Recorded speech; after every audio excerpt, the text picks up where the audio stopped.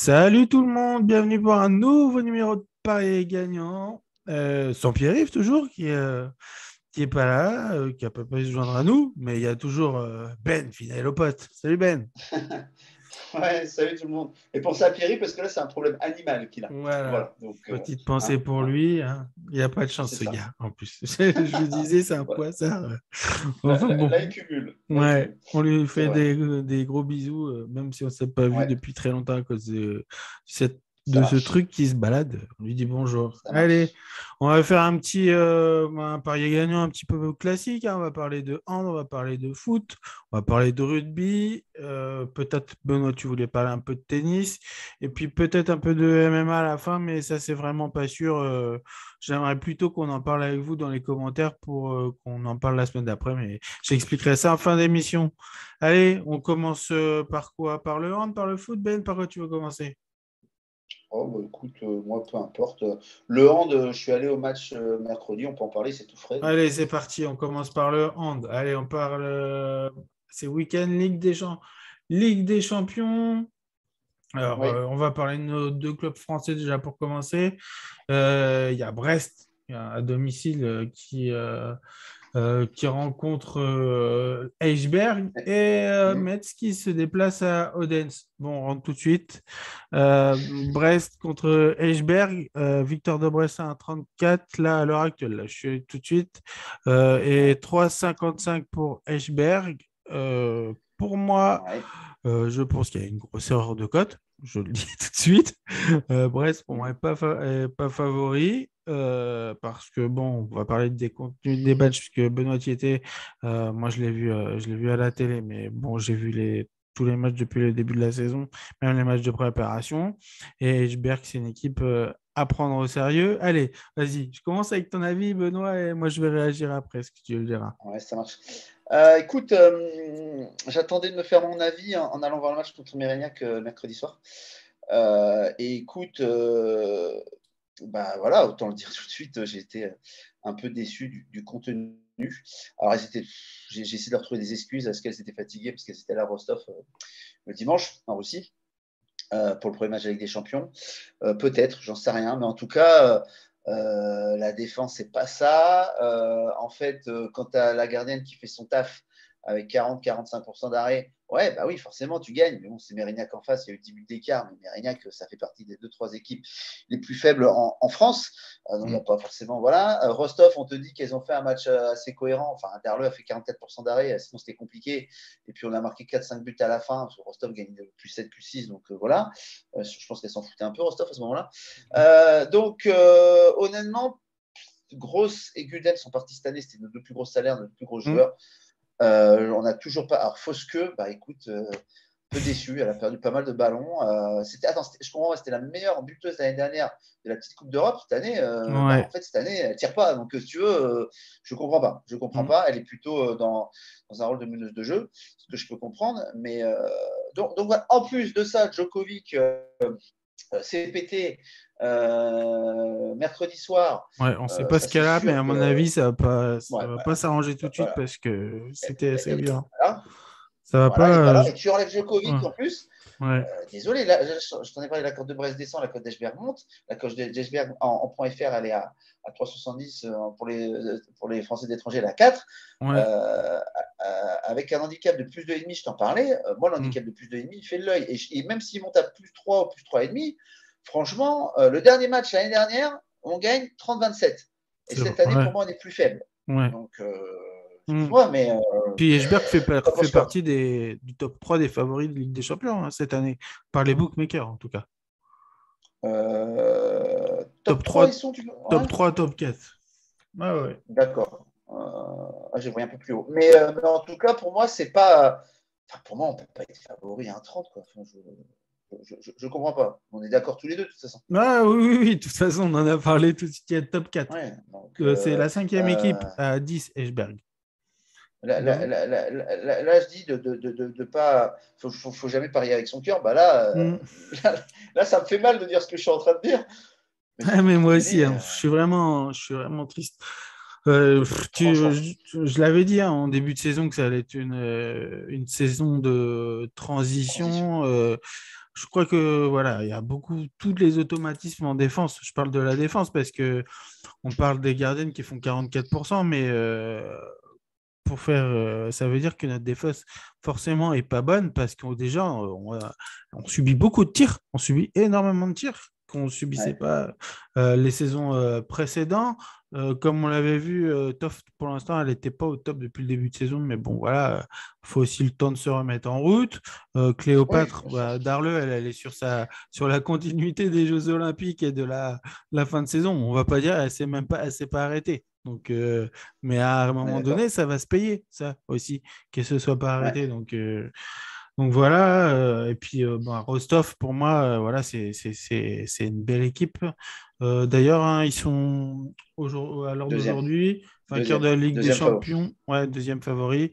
là, elle est aux alentours de 6, 6-7, je crois, par là. Mm. Dior est à 1,80. En dessous, on a le CSK Moscou de 6 qui est sûrement arrivé là parce qu'il y a Nagos qui est arrivé dans les rangs. Et euh, ouais, et il y a les Vipers euh, Christensen qui a 7 juste en dessous et Eichberg, euh, donc l'équipe contre qui va jouer le BBH samedi. ouais, voilà, ça me fait peur. honnêtement, j'ai vraiment peur de la, j'ai peur de la saison parce que je, je sais pas, j'ai, j'ai un mauvais, j'ai un mauvais pressentiment. Ah, moi aussi. Hein. Hein moi aussi. Non, mais moi aussi. Et, justement, euh, les bookmakers, eux, ils ont, ils ont un, meilleur pressentiment que nous. Donc, euh, euh, c'est dans ces moments-là qu'il faut essayer d'aller. bah justement, toi, tu sens autre chose que les bookmakers. Et je pense qu'on a plutôt raison, nous, parce qu'on connaît le club. Parce que voilà. Mhm. ok, on a Faupa qui a été élu meilleur pivot de, des JO. Et honnêtement, vu son âge, ça va être la meilleure joueuse à son poste. Ouais dans les années futures. Mm. Mais là, en face, tu vas te taper, euh, là, en face, tu vas te taper, par exemple, comment elle s'appelle euh, euh Restad, euh, la petite norvégienne. Bon. c'est pas la même. Voilà. Ah bah, elle, mm. elle, autant dire que voilà, c'est une future grande joueuse aussi. Mm. non, non, ce match me fait peur. Je suis en train de me dire, il, faudrait que je parie contre Brest là en début de saison. Bon, bien sûr, j'aurais pas pris Mérignac, hein, mais euh, voilà, euh, mais contre des équipes comme ça. Et puis si Brest perd encore là, après attention, les bookmakers vont commencer à se dire, ok, ouais. c'est plus le niveau de l'année dernière, on va commencer à, à, vraiment prendre compte. Là, il y a encore le bénéfice du doute.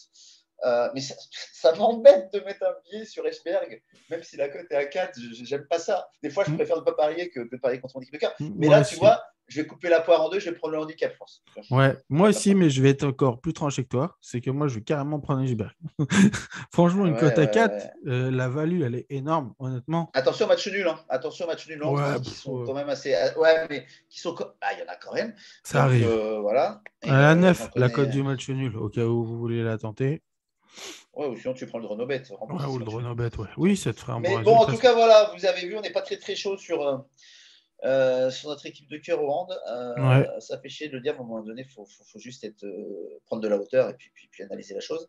sans que Djokovic, en plus, ça fait une rotation en moins. En plus, elle, physiquement, elle prend de la place, si tu vois ce que je veux dire. voilà. Je, je, sens mal ce match. Bon, j'espère que je me trompe. Je vais sûrement mettre un billet. Si le billet, je le perds parce que Brest gagne, ce ne sera pas très grave. Euh, voilà, mais euh, et puis bah, si Brest euh, perd ou gagne, mais en dessous de, de, 3 buts, bah, je serai content, je serai content deux fois. Voilà. vite fait un petit tour aussi des autres. Bah alors, déjà, j'ai pas compris l'ambroglio. Ouais, j'ai pas compris l'ambroglio de Moscou qui a pas pu se déplacer. donc, je pense qu'ils vont perdre le match sur tapis vert. Donc, elles ont intérêt à, à, se reprendre contre. Alors, il y a une cote là euh, vous allez me dire, c'est pas, pas, pas énorme.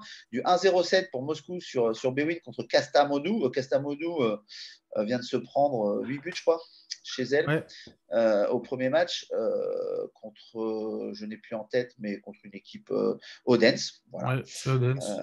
pour moi, Moscou est meilleur qu'Odense. Dans 6 buts, il y a eu des cas. Bon, voilà, je ne vois pas comment Moscou pourrait perdre ce match. Donc, ça sera, c'est une petite cote mais à mettre dans un, dans un, dans un pari combiné, mhm. euh, moi j'aime bien, tu vois, ce genre de truc. Euh, voilà, ouais, je, moi aussi. Je vois pas comment, pour le premier match d'Anagros, euh, parce que je, bon, après, je n'ai pas été regarder s'il y avait des blessés, mais je pense qu'elle joue. voilà, je, pense que ça le fait.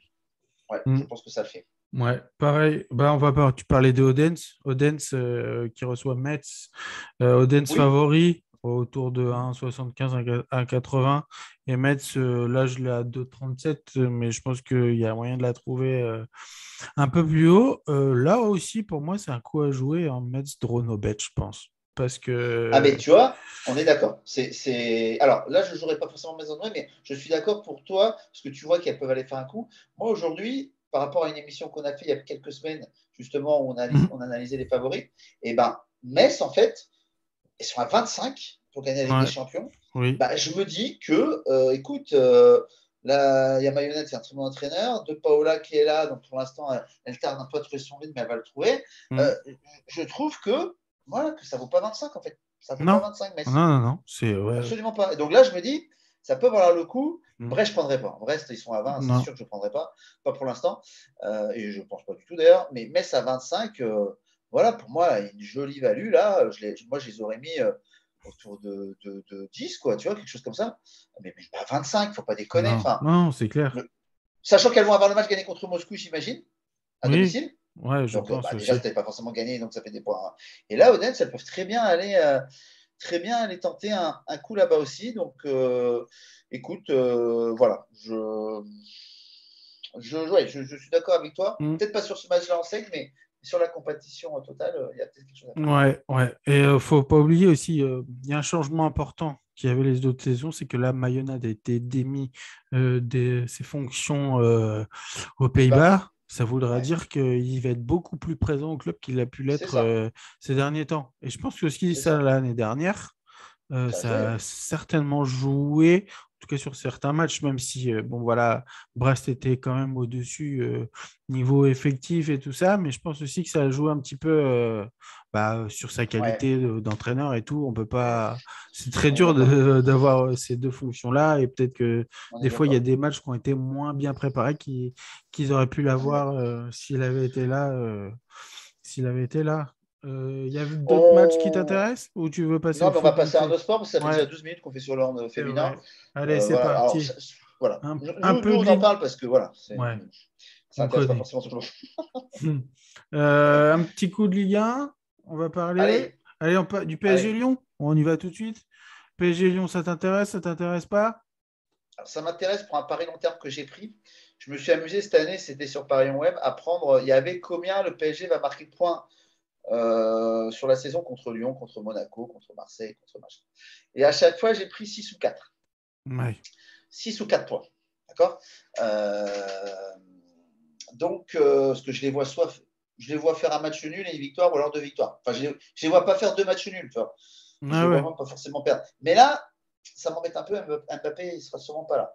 Non. Euh, on a un Neymar qui, euh, qui nous fait une gignac là. Qui est transparent. Ouais. Euh, voilà. Bon, Messi, voilà. Icardi, n'en parle pas. Mais bon. Ouais. milieu de terrain un petit peu aussi affaibli, parce qu'on l'a vu en des Champions, c'était triste. Hein. Le milieu de terrain, oh là là, s'il n'y a pas.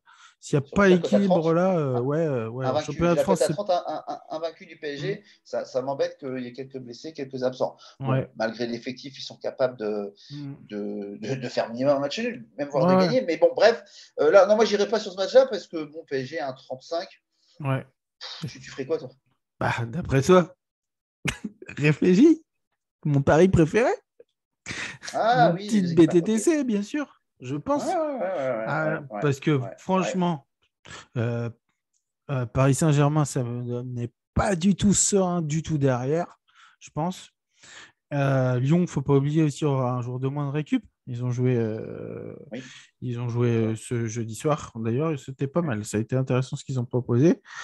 Puis voilà, le PSG est quand même toujours capable de marquer un but, euh, voilà, un exploit de Messi, Neymar peut se réveiller, euh, Herrera peut continuer de claquer parce que, mine de rien, c'est un, sacré joueur. Hein, je, parce que je le. bien sûr. Je, donc, euh, le petit BTTC, ça doit être autour de 1,60, un truc comme ça. Un peu. C'est dans les cotes habituelles, hein, de toute façon.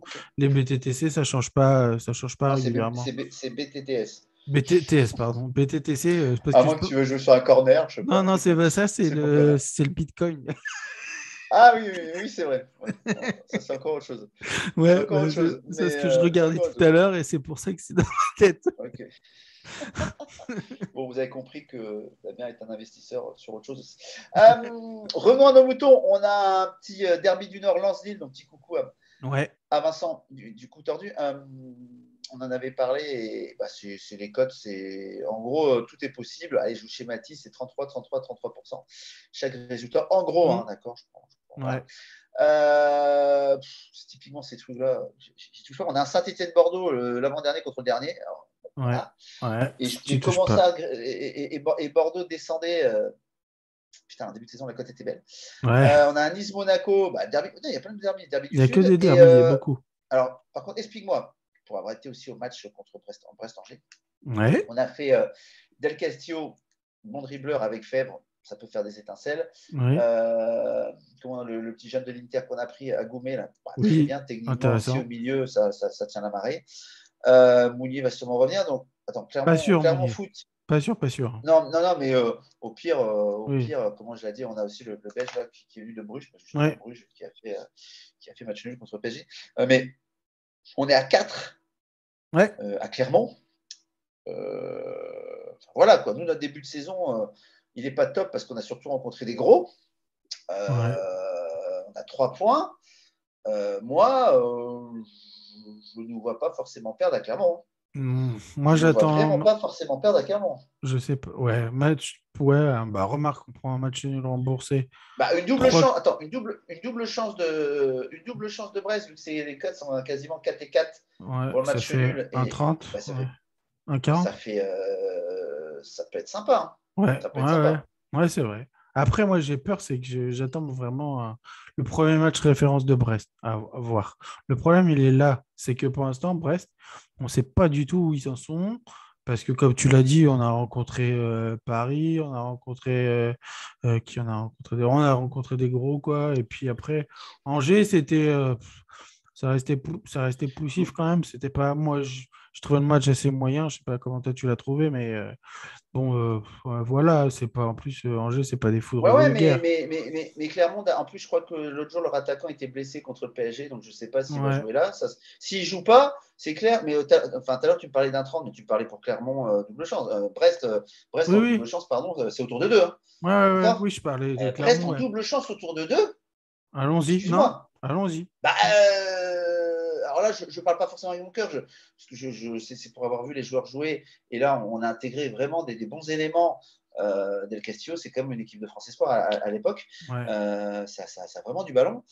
Euh, non, franchement, code de 2, double chance. C'est pas une dronomètre, hein, c'est code de 2, double chance. Mhm. Pour Brest, à Clermont. Alors, Clermont, oui, c'est sur, sur l'inertie de, de, la montée de, de Ligue 2. alors, Honnêtement, moi, je vois un match nul sur ce match-là. non, mais voilà, je, te le dis. Je, pense que si leur attaquant, il euh, faut avoir confirmation, mais si leur attaquant vedette, euh, clairement, n'est pas là, bah, tous les jours. Tous les jours. S'il est là, bon, il marche un peu mm. sur l'eau, le garçon, donc ça, va être, ça, va être, voilà, plus, plus complexe. Mais, mais, on est, attention, hein, je crois qu'au niveau des. je crois que j'ai vu ça au classement au niveau des occasions. Je crois qu'on est sixième en fait. Ouais, c'est ça, euh, on ne concrétise pas. On a un peu de mal à. Ouais, on n'a pas eu Mounier pendant deux, matchs. Après aussi, on est tombé sur des grosses défenses aussi euh, sur les matchs. Il faut, faut, y penser à ça, parce que là, on est à la combien, quatrième, cinquième journée? Il euh, faut y penser à ça. Il faut regarder les matchs qu'on a eu avant. La, la, défense du PSG, ça reste la défense du PSG. Euh, il y a eu Rennes aussi. Euh, Rennes, ça défend, euh, ça défend, ça défend pas mal. Donc, il faut pas, faut pas non plus. À Strasbourg, on perd 3, mais ça peut faire 2-2. Ouais, c'est ça. Quand tu vois le match. Oui, exact. Ouais, ouais, et puis Strasbourg, ça va être une équipe très chiante à jouer chez elle. Hein. Toute la saison, tout le monde. voilà. Apparemment, Bayo est là. bon, bon bah alors ça change tout. C'est pas que ça change tout, c'est que ça devient, ça devient un peu moins value. Mais, euh, mais voilà, faut pas déconner, quoi. Merde. Euh, mmh. euh faut pas déconner. Je, je, trouve que la cote de 2 est belle. ça, c'est mon avis. Euh, Par là pour moi aussi. Après, le reste. Après, moi, je pense que Nice peut faire un coup face à Monaco, honnêtement aussi. Parce que. Pour, moi, Monaco va se réveiller un jour. Hein. Ouais, mais Monaco va se réveiller un jour, mais il faut attendre un petit peu parce que faut digérer la préparation. Et là, il y a eu la première semaine euh, de Coupe d'Europe. Et à mon avis, on l'a digéré. On l'a. C'est, pas dans les premières journées qu'on la digère, mais la deux ou troisième journée, je pense euh, plutôt euh, fin septembre, début octobre, on aura un autre Monaco qu'on a aujourd'hui. Et je pense que Nice, pareil, à 2,72. Un Dronobet, ça fait pareil, on doit être à un, un 40 par là un 50 même, euh, je pense que c'est intéressant. Ça, c'est, c'est vraiment à prendre euh, avec des pincettes. C'est un coup, euh, mais parce que j'ai vu Monaco jouer dans le contenu ces, ces, derniers temps, en tout cas en championnat. Euh, c'est complètement différent que ce qu'ils ont proposé euh, euh, hier. On est vendredi matin, hein, les matchs avaient eu hier soir, je, le dis. donc voilà, Nice, et puis voilà, Nice aussi a été intéressant dans ce qu'il a proposé. Après, c'est dommage, j'aurais bien voulu voir un petit peu plus de temps Nice-Marseille, parce que je trouvais que c'était un match assez agréable à regarder. Donc pourquoi pas, je dis pourquoi pas, un petit euh, dronobet pour, pour Nice contre Monaco. J'avais pas vu, mais tu as le derby alsacien, tu as le derby du Nord et tu as le derby, euh, enfin un derby du Sud ouais. euh, Il y a un an gênant, un derby du, de l'ouest, euh, voilà, l'ouest-centre, on va dire. Euh, non, non, bah, il y, y, a pas mal de, il y a pas mal de, de choses intéressantes. Mm. moi qui ai plus de, plus de mal à regarder du, du football parce que je trouve ça des fois longué et tout. euh, On ne peut pas tout regarder. bah, quand je regarde du foot, je, je vais aller voir un spectacle. Hein. C'est mm. ça le but du jeu. Hein. Le foot reste un spectacle. Euh, donc si, si, te gaves, euh, enfin si, ça te gave pendant, pendant une heure et demie, euh, à un moment donné, tu as un peu ras-le-bol. Mais euh, donc, euh, écoute, ouais, c'est tout ce qu'on a dit là, c'est pas mal. Alors, PLT, là, mm. je suis en train de me demander, j'attendais de voir hein, si Metz cette année, ça irait pas dans la charrette parce que franchement, c'est faible. de toute façon, Bordeaux sera dans la charrette, ça j'en suis sûr. Alors là, j'en suis ouais, mais Bordeaux, je me méfie. Bordeaux, je me méfie. Est-ce qu'à Noël, ils vont pas nous sortir deux, trois oh. encore, quatre joueurs, j'en sais rien, quelque part, et qui font que voilà, trois, euh, trois, je suis désolé. Enfin, c'est très bien pour trois. Ouais. Mais les dés sont pipés. Là, ils ont récupéré, je sais pas combien de joueurs de Citigroup. Euh, mmh. euh, bon, après voilà, c'est le jeu. Ils, ils, ont signé avec eux et, et, et, tant mieux. Mais trois, pour moi, qui était euh, deuxième favori des beaux pour descendre. de toute façon, les favoris, c'est Clermont et Troyes. Mmh. Clermont, quand tu vois où ils sont, et, euh, et Troyes, je pense que ça peut le faire. Donc déjà, je pense que ça se trouve, une, aucune de ces deux équipes va descendre. Donc ça, ça laisse libre d'Estrapontin. Moi, j'avais pris Nantes. Bon, écoute, euh, ouais. on verra bien. La saison est longue. Mais euh, ouais, Bordeaux, pff, Bordeaux pour mmh. l'instant, c'est catastrophique. Euh, mais Metz, franchement, ah ouais, a, le réservoir est pas. La cote est à 3, 3,5 encore. Ouais. Euh, voilà, écoute. Euh... Puis de toute façon, mais ça fait deux saisons, là, deux, trois saisons de suite qui sont les gars. En général, ça fait ça. Hein. Depuis un certain, un il y a deux ans, trois ans, ouais, et ça redescend. c'est là que ça devient compliqué. Hein. Euh, donc, écoute, euh, bon, voilà pour moi sur, sur cette Ligue 1. Alors après, on va me dire, hey, les autres championnats, non, mais on a une demi-heure de. on n'a pas beaucoup de temps. Compliqué. Avant de partir on... en rugby, vite fait, je vais parler du championnat anglais justement. Vite fait, hein, ça ne va pas durer longtemps. C'est West Ham. Non, non, non, non, même pas. Tu vois, ah, c'est West Ham contre euh, Manchester United eh ben, je vois bien un petit but de mon petit Ronaldo à 1,80. Eh, je le sens. Bon, ça, hein ça, ça va. Il, euh, ça, il va. Ça, il, il, a déjà marqué un doublé. Enfin, il est en forme. Oui. Ouais. Je veux dire, c'est. Mais voilà. Une, ouais, okay, un but de Ronaldo à 1,80. Excuse-moi, mais c'est valu, Benoît. Non? Euh, Ouais, je sais pas. Faut, faut que je. Ouais. Ouais, je pense. Je regarde. Bah, moi, je l'aime bien, en tout cas. Donc, je, je, vous le dis, je vais le jouer ce week-end. voilà, vous y pensez. J'ai regardé parce que je pense que là, euh, là, là, à 80, mais à partir de la semaine prochaine euh, ou dans 15 jours, on sera plus à 80 euh, pour Ronaldo qui marque, hein, c'est sûr. Ouais, mais après, il peut pas. Moi, mon problème, c'est qu'il ne peut pas marquer à tous les matchs. Non, il ne peut pas marquer à tous les matchs, mais je pense que là, il va vouloir montrer beaucoup au, au début. Donc, voilà. Tiens, petit aparté, parce que je vois qu'on vient de recevoir un commentaire sur la chaîne YouTube. Euh, Stéphane Barbier qui demande Hello, vous revenez quand? Bah, tu vois, on, bah, on, arrive. De faire une émission. Cet après-midi. Voilà, ouais. Allez, on parle de rugby, Benoît. Il te reste oui, je parle de 5 minutes. Euh, scusi, euh, je je parle italien, n'importe quoi. Mmh. Euh... n'importe quoi. En plus, on va au rugby, donc c'est absolument pas un sport italien. D'ailleurs, petit aparté, il y aura des places en simple avant pour la Coupe du Monde de rugby bientôt. là. J'ai déjà mes billets pour, pour quelques matchs et ça m'intéresse France-Italie. Donc voilà, je dis ça pour ceux qui, voudront assister à la Coupe du Monde. C'est bientôt la fin du mois.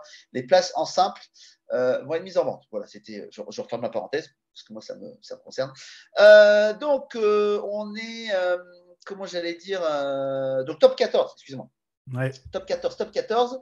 Bah écoutez, il va y avoir des. Voilà. C'est toujours le problème. Ouais, on a fait l'émission le vendredi, donc forcément, il y a des choses qui ont bougé. On va être à la troisième journée.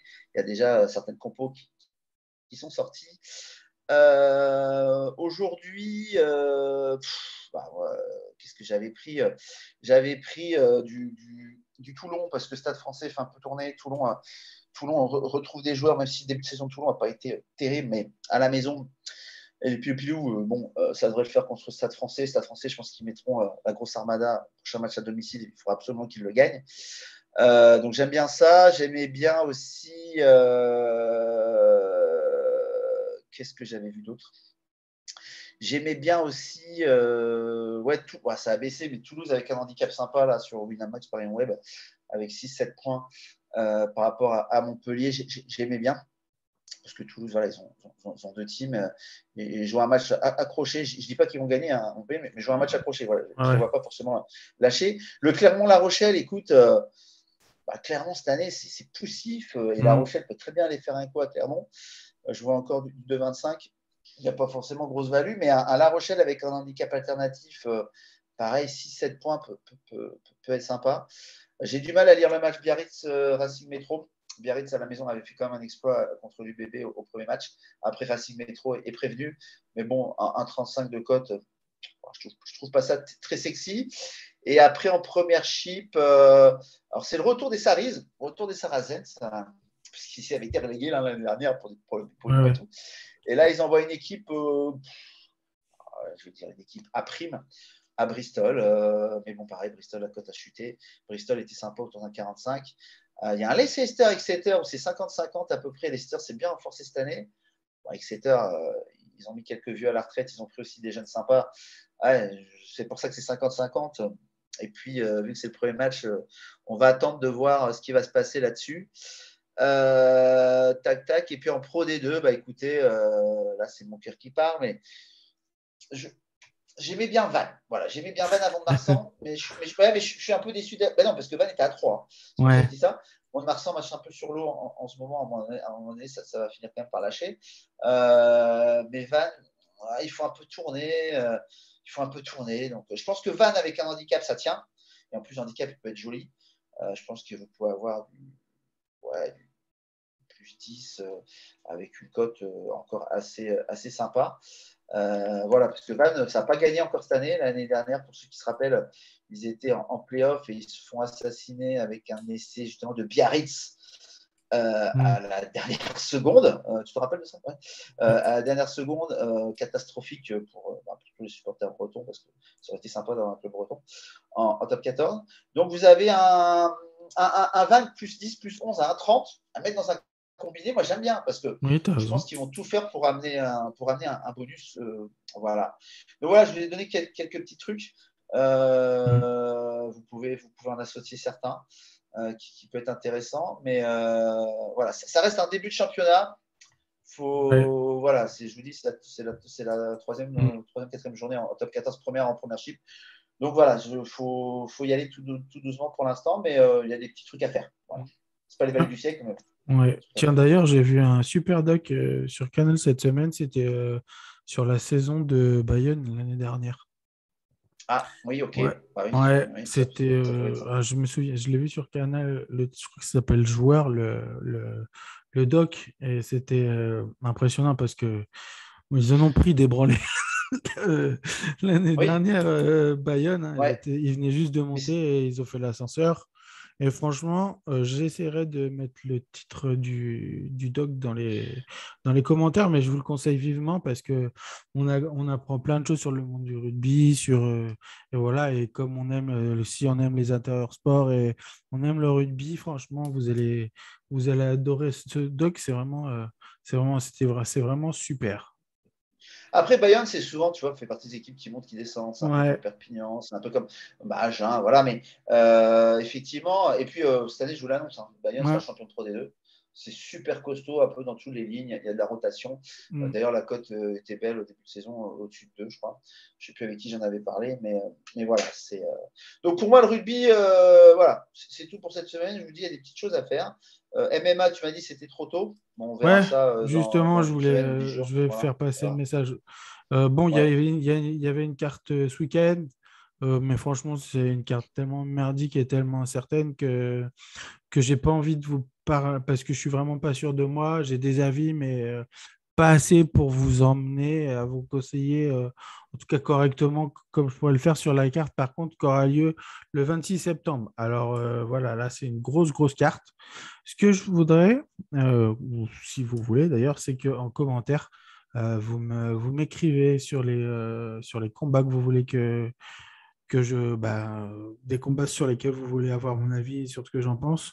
Euh, sachant vite fait, hein, je dis, il y a Volkanovski, Brian, Ortega, ça c'est un super combat. Euh, Valentina Shevchenko contre Morphy pour le titre. Un Robbie Lawler, Nick Diaz. Alors là, Ben, euh, si t'aimes, non franchement, si t'aimes le MMA, je te conseille de regarder ce combat-là. J'apprends à aimer, mais je te l'ai dit, hein, je, j'apprends à aimer tous les samedis soirs. Je regarde Merci euh, l'équipe pour les anciens, euh, les anciens UFC. Euh, non, mais c'est vrai, c'est vrai. et, je, vois des mecs dont, et, je vois des mecs dont tu parles de temps en temps. Mm. Et, parce que, voilà, dans, dans, dans, pour avoir un QI Paris sportif, et je suis comme ça. Moi, je, voilà, il faut que j'aime bien parier aussi sur des trucs, mais euh, j'aime bien comprendre l'essence du truc et, voilà connaître. Voilà, j'aime bien connaître. Les tifters, ça, ça, ça, va bien, mais euh, moi, je, préfère euh, tout maîtriser. Après, je peux comprendre hein, que qu'on n'a pas le temps. Voilà, on fait, on fait des tifters, il n'y a, pas de souci. Mais moi, j'aime bien maîtriser les choses, donc j'apprends à connaître les trucs de Narousseff, tout ça. Enfin, les, tu vois, ce, ce, ce, mm. ce, dont tu me parlais, même s'il y en a qui ont pris leur retraite. Mais, mais, mais je veux dire, voilà, d'avoir cette culture et voir un petit peu comment ça, ça fonctionne. Mm. voilà, j'aime bien, donc je fais partie des des personnes qui sont en train d'apprendre petit à petit le, MMA. Donc voilà, si vous voulez en parler, on en parlera la semaine prochaine. Je vous dis tout de suite que j'en parle pas cette semaine parce que j'attends toujours, euh, en général la dernière semaine, il y a, des fois il y a des petites blessures et c'est surtout que euh, je regarde vachement euh, comment ils ont eu des problèmes ou pas pour couper le poids pour arriver au poids avant le combat, parce que ça ah joue un rôle déterminant pour le combat. Et deux semaines avant, c'est beaucoup trop tôt. Voilà. C'est une des raisons pourquoi je ne veux pas en parler maintenant. Donc voilà, je, sais qu'il y a des, euh, il y a toujours des, envies, il y a des questions. Allez-y. Euh, si on fait pas. Euh, mettez, ouais, mettez des questions. juste, mettez des questions si vous avez aussi des, idées de paris long terme. Je vous donne mon avis. Enfin, voilà, il y, y, a des trucs voilà, qui, qui, peuvent être intéressants encore mmh. en Ligue des Champions, des choses comme ça. Il n'y a eu qu'une journée, par exemple, sur des groupes. Moi, je sais que j'ai pris un, gros combiné de trucs assez safe, avec cote 1,70 à 80 sur Ligue des Champions, avec des équipes. Euh, est-ce qu'elles vont, est qu'elles vont être top 2 de leur, leur pool Ça, c'est des trucs que j'aime bien faire. Euh, et voilà, style, je sais pas moi, euh, j'ai plus en tête, mais oui, PSG va se qualifier, Bayern va se qualifier, enfin des trucs comme ça. Alors, c'est des petites cotes, mais multipliées, quand vous avez 5-6 petites cotes, vous arrivez à un truc à 1,70 et ça reste du safe. moi, j'aime bien faire ça. Voilà, si vous avez des questions, allez-y. Mettez, mettez, mettez bon. on n'a pas eu le temps de parler euh, du long terme de Ligue des Champions, mais euh, ça peut-être oh, peut pas grave. Ouais, on, aura encore. Euh, j'aime bien le Bayern, franchement, j'aime bien le Bayern. C'est ce que j'allais te dire aussi. Ah putain. Musalia ou. Ouais. Mais lui, mais c'est pareil, mec. Et le renard de Lewandowski je, je, je, je, je, putain, je l'ai vu, euh, il est sec, le garçon. Ouais. Lewandowski, il, fait de l'âge, mais il est sec. Euh, ouais, putain, 18 ans, 18 hmm. ans, le mec, il te sort euh, un, joueur comme ça. Ouais. Po, po, po, po, po. Et ben, ouais, ouais. Et puis avoir. Hein. Donc Bayern, en plus, la cote est intéressante, je pense. Hein. Donc, ouais. ouais, ouais. Donc voilà, bon, on va se laisser là pour, pour, cette semaine. On verra si on fait une émission complète tous les deux ou tous les trois la semaine prochaine. Au pire, euh, moi, je vous ferai un petit truc euh, vidéo ou, audio sur le retour de l'UFC, euh, suivant les questions que vous me poserez, en tout cas sur le MMA. Et si j'ai deux, trois trucs sur le, sur le hand aussi, peut-être que je, je, viendrai. Donc, en tout cas, moi, j'espère vous retrouver si vous êtes assez nombreux pour poser des questions et on verra avec Ben euh, pour revenir et peut-être qu'on retrouvera notre ami Pierre-Yves. C'est ça. C'est ça, c'est ça. Bah écoute, hein, ces, problèmes d'animaux devraient être réglés. Mmh. ouais. Allez. dévoiler les choses. Oui. Ouais, salut à tous. Ouais, salut à tous. Bon week-end. Amusez-vous bien et faites du sport surtout. Allez, ciao. Ciao.